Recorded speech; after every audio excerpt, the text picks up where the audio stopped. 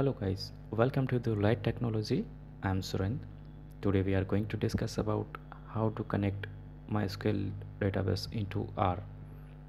So first of all, we require R MySQL library to connect MySQL database into R. So if you have library already installed in your system, you can run the command library and the R MySQL. If you don't, you can install that library using install.packages rmysql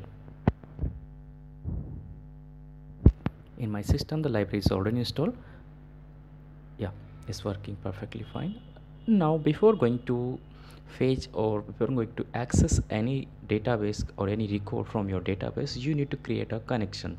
Similar to java we need to create a connection here also. So i'm going to create a connection using the variable mydb db connect mysql is the connection parameter. Same as it is username your username password your database password database name and port number. So mysql port number means the default port number of mysql is 3306 so connection is already created here. Yeah. So connection is working perfectly fine. Now i'm going to check the how many records or how many tables already present in my database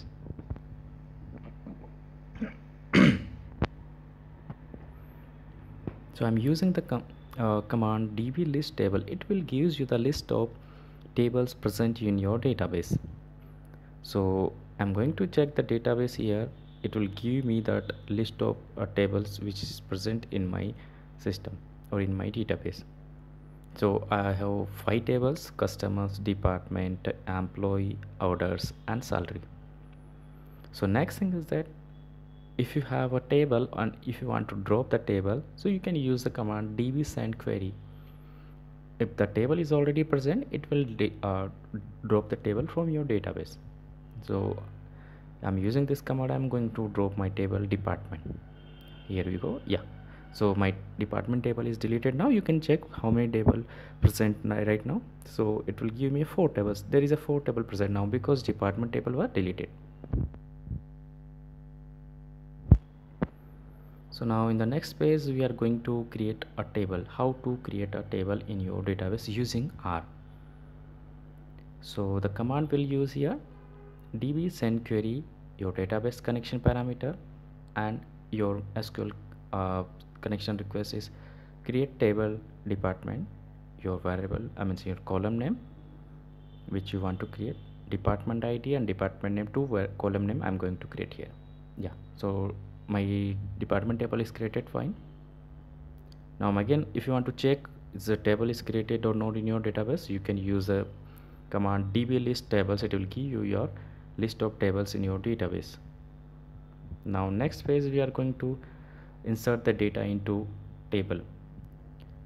So you will I mean so we can use the command db send query. Your database connection is already default mydb and uh, mysql parameter is that insert into department and value. Whatever you are going to do you can put the value. Yeah so here the database table is created now. Now i'm going to fetch the record from table. How to fetch the record from database table into r? So it's a simple we will use the same command db send query. It will send request to your connection parameter to your database and it will fetch the record based on your uh, sql query. So here i'm going to fetch the record from department. Select start from department. It will give me the, all the record from table department. Yeah so it's correctly fine. So I'm, I'm having all the records in my variable records. So if you want to print uh, print this record it will not give you the result right? Because that uh, value will be inserted in the form of uh, row and column and all the record will be inserted in the record. So we are going to fetch only top one record or top last record or 5 or 10 based on the requirement. We can fetch the record. So we'll use the function fetch. It will fetch the data based on that credentials or based on the requirement so here i'm going to use the function and i'm going to fetch only one record because i have only one records. If I, I have more than one records i can put the value here n equal to 2 5 10 like that. We can we can use this thing. So now I have one record so the my record will be uh, inserted in data dot frame. So now I'm going to print my record. So either you can directly use print function or if you want to see your record in the form of table so you can use view and your uh, variable name.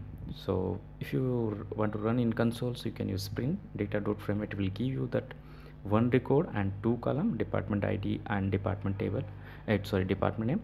And uh, if you want to run in the form of table so you can use the command view and your variable name data dot frame. So it will give you the column name department id and department name so i hope guys you will be understand about this thing because it's pretty much uh, easy. In the next session we will discuss about how to crawling a web page using python. Uh, thank you guys